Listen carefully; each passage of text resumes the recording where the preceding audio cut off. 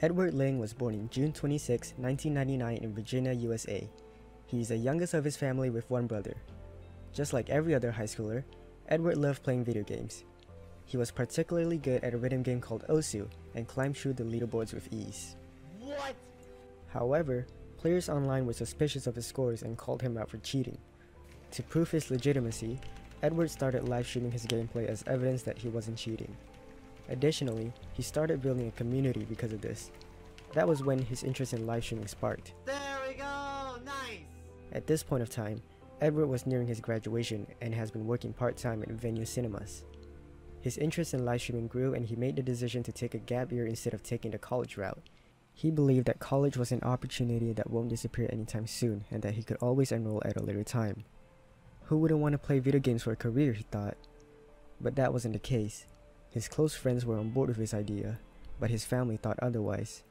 Nevertheless, they trusted their youngest son and allowed him to pursue his passion. When Edward started off, he had no viewers, but that did not stop him from going on. Luck played a role when a video he posted on YouTube became viral, giving him a following to build on. Over time, he started to gain viewers due to his goofy personality and constant incredible plays. Oh, hi, Dad. so sorry.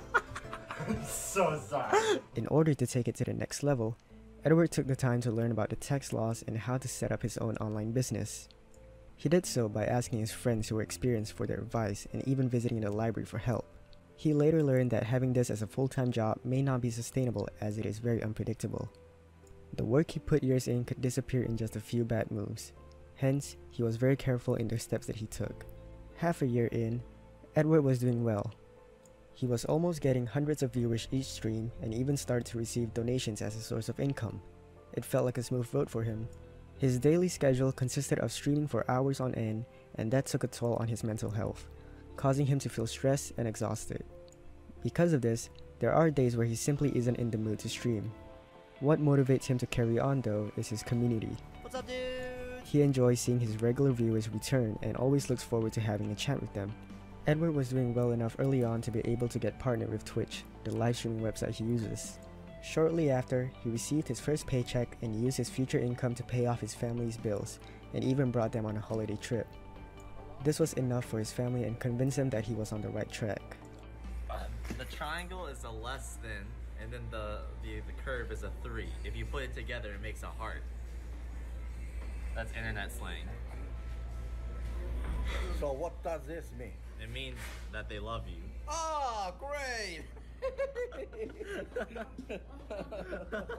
I love you, man. Thank you. Alright. Edward also started attending conventions such as TwitchCon. This gave him the chance to meet his online community and friends in real life. No sense, and here's me. Yo, what's up, gamers? Can we get a hashtag spread the bread? Oh my god. Yay!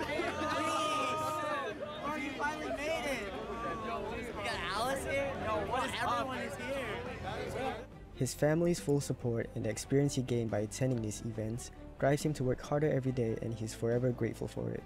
As of today, Edward Ling is a full-time live streamer with over 3,000 subscribers and 100,000 followers, who is not only partnered with Twitch, but also sponsored by award-winning audio production company Blue Microphones and popular drink mix G Fuel. He plans on continuing this journey in the future while saving up an emergency fund. He prioritizes his audience and is always looking to improve the quality of his streams. His advice to any upcoming streamers is to just be yourself and treat each and every viewer who took their time off with high respect. This is the journey of Edward Ling.